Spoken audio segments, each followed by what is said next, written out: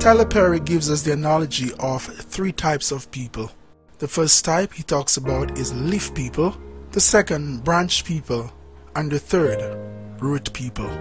According to Mr. Perry, some people come into your life and they are like leaves on a tree. They are only there for a season.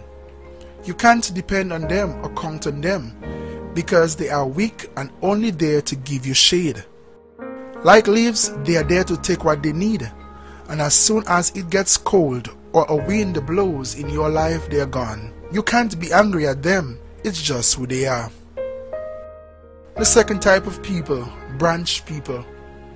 There are some people who come into your life and they're like branches on a tree.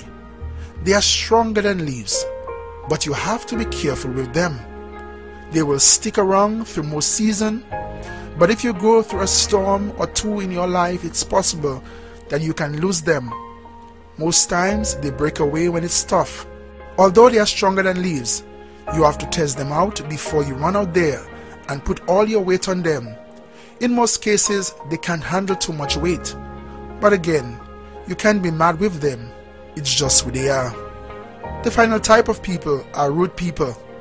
If you can find some people in your life who are like roots of a tree, then you have found something special.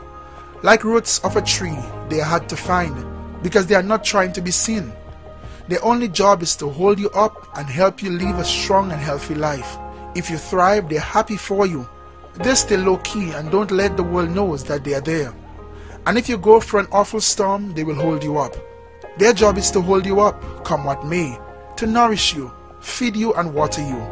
Just like a tree has many limbs and many leaves, there are few roots. Look at your own life.